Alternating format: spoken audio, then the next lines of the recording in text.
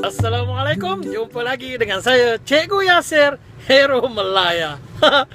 Ada orang tanya saya, uh, Cikgu kami ni perempuan ni banyak pengorbanan untuk suami kami dalam mengandung. Berat nak bawa 9 bulan. Ya Allah, teruknya memang betul. Teruk, memang teruk. 9 bulan bawa perut ke sana kemari. Tapi macam saya ni, bawa perut ke sana kemari juga. Eh, bukan 9 bulan. 9 tahun pun lebih saya rasa. Habis tu, rasa macam mana ya? Kita 9 bulan pun tak tahan.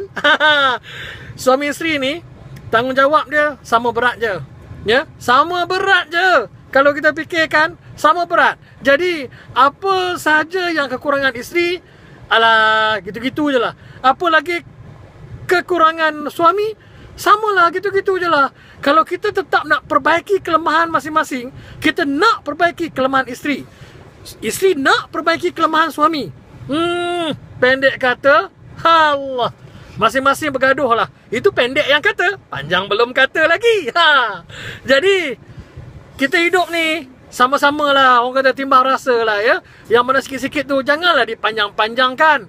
Kalau dah tahu dah suami tu isap rokok letak merata-rata, alah, Lap aja lah, tak payahlah bertir-bertir, bertir-bertir nak nak apa ni berceramah, nak bergaduh pasal tu, rugilah. Kita bergaduh sebab rokok seringgit 10 sen, rugi.